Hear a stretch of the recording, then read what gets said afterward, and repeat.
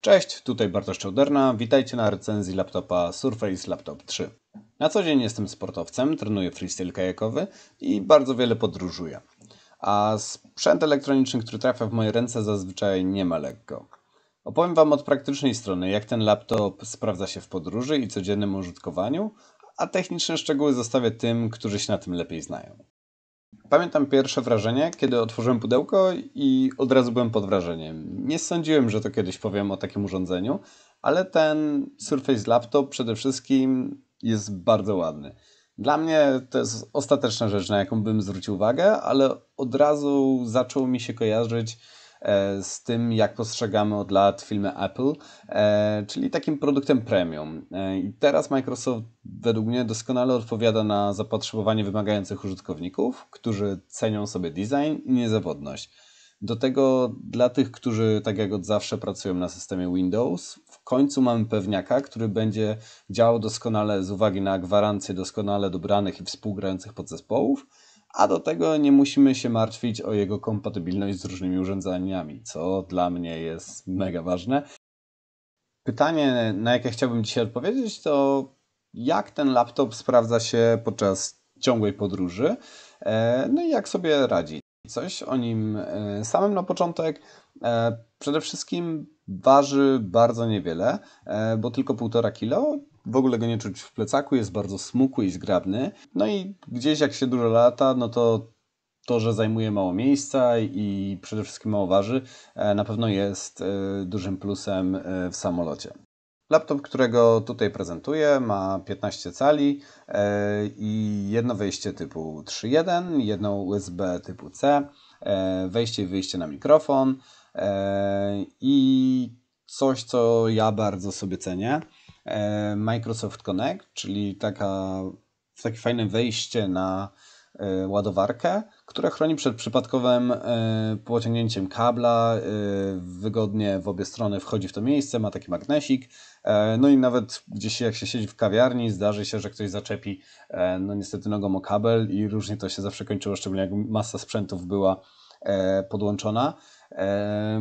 No, ale tutaj nie ma tego ryzyka, bo ten e, magnesik szybciutko odskakuje, nic się e, tutaj nie dzieje.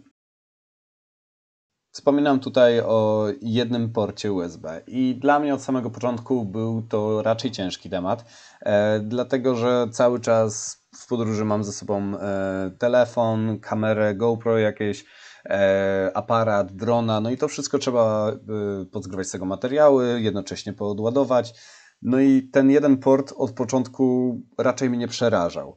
E, na pewno biegnie nam z pomocą tutaj ładowarka, e, która ma dodatkowe wejście na USB, które możemy wykorzystać do ładowania, czyli możemy sobie ładować coś bezpośrednio z ładowarki, jednocześnie zgrywając rzeczy e, przez port USB. E, nie ma ten komputer wejścia na kartę SD, co dla mnie jest też trochę problematyczne. Po prostu trzeba mieć osobny czytnik albo radzić sobie przez kable USB. Również używając y, myszki, no tak naprawdę mam ten port od razu zajęty. I oczywiście jest fajna myszka od Microsoftu, która bardzo fajnie się przez Bluetooth łączy, no ale jednak do gier wolę polegać na dobrej laserowej myszce e, z większą ilością e, guzików i wygodniejszej dla bardziej dynamicznej gry. Tak naprawdę, jeżeli, nie wiem, składam filmy albo robię coś innego, e, mega plusem tutaj jest touchpad, który no, jest niewiarygodnie wygodny, dlatego że łapię się na tym, że mimo tego, że mam myszkę podłączoną, to często jeszcze kciukami coś tam na nim działam, żeby coś szybciej kliknąć, wygodnie przełączyć. Bardzo dobrze on reaguje i fajnie się go e, do wszystkiego używa. E, oczywiście obsługuje te wszystkie podstawowe e, funkcje Windowsa, no i jest dość szeroki, co dla mnie też jest fajnym plusem do przewijania wideo. Jeśli chodzi o wyświetlacz, ma on proporcję 3 do 2. Technicznych parametrów Wam tutaj nie będę podawał, na pewno wszystko można sprawdzić na stronie Microsoftu tak z tego co zaobserwowałem, grając w gry, składając filmy, e, oglądając różne rzeczy na nim, e, podświetlenie jest równe. E, mimo tego, że matryca jest błyszcząca, to cały czas, tak jakby, nie wiem, będąc w trasie, e, nie miałem jakichś problemów z widocznością tego, co e, jest na ekranie, będąc na zewnątrz, co zazwyczaj jest właśnie minusem takiej błyszczącej matrycy. Tutaj jakoś mi to nie przeszkadzało, więc to podświetlenie jest naprawdę dobrej jakości. No w biurze doskonale to wszystko działa. Ekran dotykowy jest oczywiście zintegrowany z Surface Penem, którego można do niego używać. Coś na pewno ważnego dla jakichś grafików, rysowników, e, czy kogoś, kto lubi pisać ręcznie. E, no ja tego używam do e, analizy wideo jakiejś, kiedy rozmawiamy o trikach, o tym, co się tam powinno dziać. To bardzo fajnie mi taki pen działa i współpracuje. Jeżeli chodzi o klawiaturę, to powiem szczerze, że obecnie ciężko mi się przesiada na jakiekolwiek inne laptopy, a szczególnie klawiatury stacjonarne. Ta klawiatura jest e, bardzo, bardzo fajnie wymierzona. E, ma takie wrażenie miękkiego wcis wciskania tych klawiszy. Jest to intuicyjne i po prostu no, dobrze się pisze. Wersja, jakiej używam, e, pracuje na procesorze AMD Ryzen 5, ma 8 GB RAMu i 64-bitowy system operacyjny. Jeżeli chodzi o składane filmów, e, ja używam programu DaVinci. Jest to fajny, darmowy program do składania już troszeczkę bardziej zaawansowanego. Nie mam problemu z obróbką e, filmów e, w 4K. Gry też chodzą ok, jest to około 60 klatek w jakichś strzelankach czy grach strategicznych. Działa płynnie przy wysokich ustawieniach. Jednak jak coś tam się zaczyna więcej dziać, no to oczywiście te klatki e, spadają. No nie jest to typowo e, laptop gamingowy, ale jak najbardziej daje radę i e, ogarnia takie rzeczy. Jak na komputer, którego nie boję się zabrać ze sobą w podróż i wiem, że mogę na nim polegać, no to naprawdę doskonale sobie z tym radzi, porównując do innych laptopów gamingowych, które po prostu są dużo cięższe i dużo E, większe. Jeżeli e, dłużej na nim ciężko e, pracuję, czyli wrzucam mu tam dużo filmów do obróbki albo po prostu gram, no to komputer zaczyna się troszeczkę grzać i wtedy korzystam z podkładki chłodzącej, żeby wyrównać tą temperaturę, ale nie zdarza się to jakoś często, więc generalnie komputer wyrabia. Dysk w tym komputerze, którego używam, ma 250 giga pojemności. Większe pliki medialne po prostu trzymam na dyskach zewnętrznych i wtedy naprawdę wszystko działa ok. Pod wrażeniem byłem głośników, które bardzo dobrze sobie radzą. Co ciekawe, dźwięk wychodzi spod klawiatury, co dla mnie było nowością. W tym modelu, który mam 15-calowym, bateria działa naprawdę fajnie.